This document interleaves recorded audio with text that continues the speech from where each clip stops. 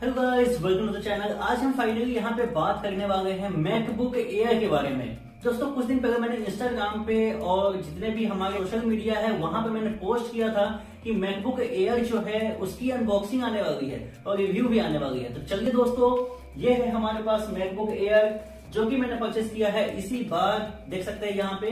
तो ये है हमारे पास मैकबुक एयर यहाँ पे आप देख सकते हैं इस मैकबुक एयर के साथ हम करेंगे अनबॉक्सिंग और रिव्यू और फ़र्स्ट इंप्रेशन भी देने वाला हूँ। चलिए दोस्तों, बिना टाइम वेस्ट के वीडियो को शुरू करते हैं। तो सबसे पहले हम अमेज़ोन के जो बॉक्स है, उसमें से ये जो लैपटॉप का बॉक्स है, वो बाहर निकालते हैं। और ये कुछ देख सकते हैं कुछ इस तरीके का बॉक्स मिलता है हमें, जिस पे लैपटॉप का एक सिंपल सा फ़ोटो बना हुआ है। इसको हम कट करते हैं, यहाँ पे टेपिंग की गई हुई है। इसको कट करने के बाद फिर हम देखते हैं कि अंदर में क्या है। तो सबसे पहले हम इसे कट करने के बाद मिलता है यहाँ पे लैपटॉप और उसके बाद मिलता है यहाँ पे चार्जिंग केबल जिसको हम साइड में रखते हैं और उसके बाद अगर हम नीचे की तरफ़ जाएँ तो और भी चीज़ें हैं, जैसे डॉक्यूमेंटेशन वगैरह है यूज़र मैनुअल है और यहाँ पे बहुत सारे पेपर्स वगैरह है जो कि मेरे कोई काम का नहीं है। तो ये है एक एडेप्टर जो कि है यहाँ थर्टी वॉट का और ये जो केबल है, इसकी लेंथ जो है वो अच्छी खासी लगभग फाइव टू सिक्स फीट की लेंथ मिल जाती है और यहाँ पे टाइप सी कनेक्ट होता है मीन्स जो एक पोर्ट है वो टाइप सी है और दूसरा आपको मैग्नेटिक पोर्ट मिलता है जो कि आप लैपटॉप के साथ अटैच कर सकते हैं। तो ये कुछ इस तरीके का लैपटॉप मिलता है जो कि फुली एलुमिनियम से बना हुआ है। तो बिल्ड क्वालिटी वाइज आपको कोई भी कॉम्प्रोमाइज़ यहाँ पे देखने को नहीं मिलती है और जो टक्टाइल फीडबैक है कीबोर्ड से वो भी काफ़ी अच्छी देखने को मिलती है। दोस्तों, हम सबसे पहले बात करें इस मैकबुक एयर की तो इसकी जो डिज़ाइन है, वो पूरा जो है, वो फुल्ली एल्यूमिनियम डिज़ाइन है। और यहाँ पे आप देख सकते हैं कि ये जो एल्यूमिनियम डिज़ाइन है वन हैंड आप ओपन भी कर सकते हैं। जैसे कि आप यहाँ पे देख सकते हैं वन हैंड आप ओपन भी कर सकते हैं। और यहाँ पे बैकलिट कीबोर्ड वगैरह भी मिलता है, जो डिज़ाइन है वो काफ़ी कॉम्पैक्ट है। नेक्स्ट अब हम बात कर लेते हैं इसी कुछ डिटेल्स की। तो ये जो मैकबुक है, वो है 13.6 इंच का, जो कि इसकी साइज़ है। और नेक्स्ट अगर बात करते हैं यहाँ पे रैम और स्टोरेज की तो एट की रैम आपको देखने को मिलती है और टू फिफ्टी की एस है। ये जो लैपटॉप है, ये आपको एट कोर सीपीयू के साथ मिलता है और एट कोर जीपीयू भी देखने को मिलती है। तो इसकी वजह से जो इसकी परफॉर्मेंस है, जो गिकबेंच स्कोर है, वो काफ़ी अच्छी देखने को मिलती है। नेक्स्ट अगर हम बात करते हैं यहाँ पे डिस्प्ले की तो डिस्प्ले जो है वो बहुत ही स्मूथ है। 13.6 इंच का डिस्प्ले मिलता है, जो कि रेटिना एलईडी बैकलाइट डिस्प्ले है विथ टू टर्न की फैसिलिटी भी देखने को मिलती है। इसका जो रिजोल्यूशन है, वो है 2560 बाई 1664 पिक्सल जो कि बहुत ही अच्छी है। और यहाँ पे दो थंडर के पोर्ट भी देखने को मिलते हैं, जो कि यूएसबी 4 को सपोर्ट यहाँ पे आपको मैक सेफ़ की फैसिलिटी भी देखने को मिलती है हेडफोन जैक वगैरह भी है, और जो स्पीकर है, वो आपको स्टीरियो स्पीकर देखने को मिलता है।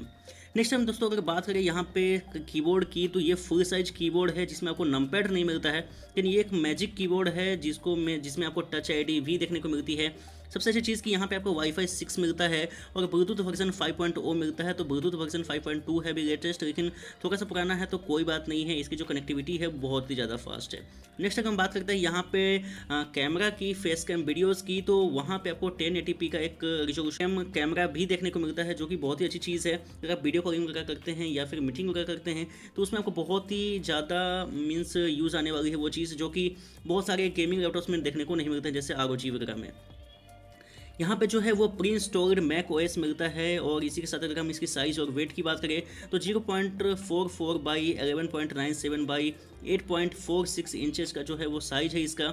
और ये सारी चीज़ें हैं जो कि इस मैकबुक एयर में देखने को मिलती है। नेक्स्ट अगर हम बात करते हैं यहाँ पे तो आपको इसके साथ टाइप सी कनेक्टर तो मिलता ही है, जो कि आप एक तरीके से कनेक्ट कर सकते हैं अडेप्टर के साथ, और एक तरफ़ से आपको मैग्नेटिक पोर्ट देखने को मिलता है। यूएसबी टाइप सी जो है, वो उसका भी पोर्ट देखने को मिलता है, जो कि मैक्सेफ थ्री सपोर्ट करता है। बैटरी लाइफ की दोस्तों, अगर बात करें तो वो भी बहुत ही अच्छी है, और यहाँ पे आपको फिंगरप्रिंट सेंसर भी देखने को मिलता है, जिसको आप अनलॉक कर सकते हैं, और कभी भी कहीं पर भी यूज़ कर सकते हैं। इतना थीन लैपटॉप जो कि मुझे विंडोज़ में अभी तक नहीं मिली है। विंडोज़ का मैंने इतने लैपटॉप्स को यूज़ किया है, आप अनबॉक्सिंग देख सकते हैं हमारे चैनल पे। बहुत सारे रिव्यू बहुत सारे अनबॉक्सिंग भी किए हैं मैंने। लेकिन इतना ज़्यादा थीन लैपटॉप मुझे अभी तक नहीं दिखा है, जो कि इस मैकबुक एयर में देखने को मिलता है। हालाँकि मैंने मैकबुक प्रो का भी किया था, लेकिन उसकी वीडियो शायद अभी नहीं होगी, किसी रीजन की वजह से मैंने प्राइवेट कर दिया था। तो मैकबुक प्रो का भी मैंने किया था और ये मैकबुक एयर है और इसकी जो डिज़ाइन है वो काफ़ी कॉम्पैक्ट देखने को मिलती है।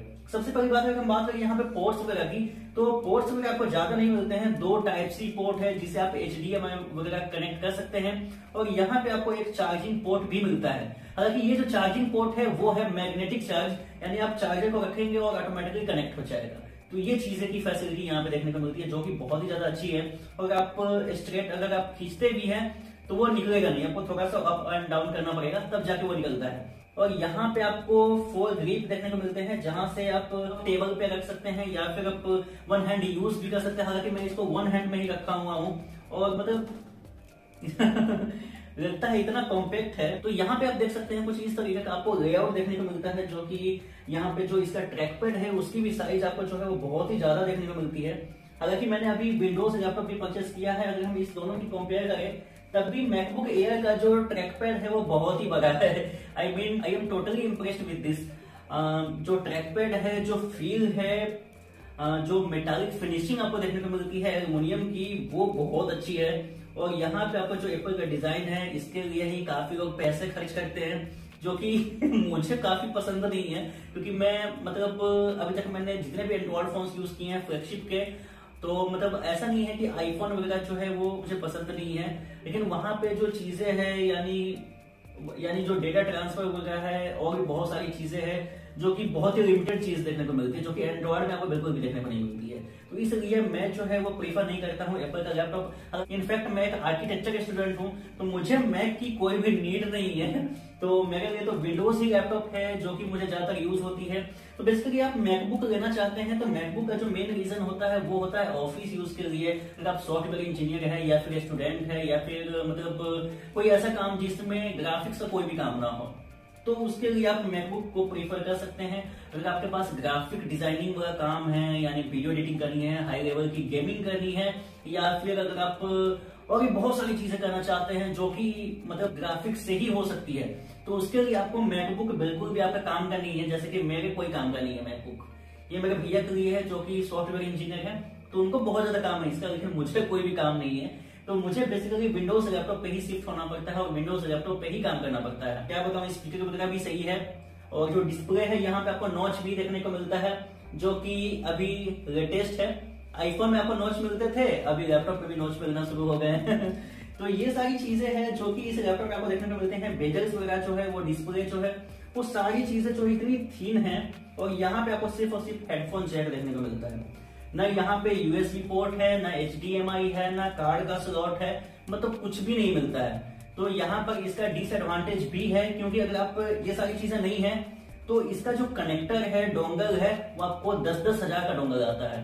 अगर आप एप्पल का यूज़ करते हैं या फिर ब्रांडेड तो बहुत महँगा पड़ता है। जो कि मुझे काफ़ी पसंद नहीं है, बिल्कुल बिल्कुल भी नहीं पसंद है, काफ़ी क्या? बिल्कुल भी पसंद नहीं है। तो ये सारी चीज़ें इस लैपटॉप के साथ है, जो कि अगर आप प्रीमियम पैसे पे कर रहे हैं प्रीमियम चीज़ें खरीद रहे हैं तो इसका जो इक्विपमेंट आएगा वो भी प्रीमियम ही आएगी। वो सिंपल सी बात है। इसीलिए मैं विंडोज़ प्रीफर करता हूँ, क्योंकि मेरा काम तो उसी में है। तो दोस्तों, यही था इस लैपटॉप का हिंज वगैरह जो है, वो भी बहुत ही ज़्यादा मक्खन की तरह चलता है, जो कि इस लैपटॉप में उतना ज़्यादा नहीं है। ये है हमारे पास एसूस जी फिफ्टीन जो कि आर टी थर्टी सेवेंटी के साथ आता है। हालाँकि इसका जो अनबॉक्सिंग आपने नहीं देखा है तो हमारे चैनल देख सकते हैं। इसकी भी अनबॉक्सिंग मैंने अपलोड कर रखी है। तो फ़िलहाल दोस्तों, इस वीडियो में बस इतना ही। मैं आपसे मिलता हूँ किसी और वीडियो में नेक्स्ट टॉपिक के साथ, किसी और अनबॉक्सिंग या फिर रिव्यू के साथ। तब तक के लिए चैनल को सब्सक्राइब कर लीजिए और हमारे वीडियो को लाइक कर दीजिए अगर आपको वीडियो पसंद आया है तो ऐसे ही वीडियो आपको और भी देखने को मिलती रहेंगे। तब तक के लिए गुड बाय